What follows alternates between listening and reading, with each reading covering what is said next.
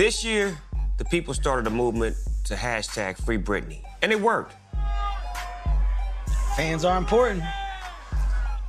That right there, that should not be just looked past. That's love. That's people standing by who they've supported over the years. That's dope as hell, man. Yeah, right? no justice, no peace. Get Britney on these streets.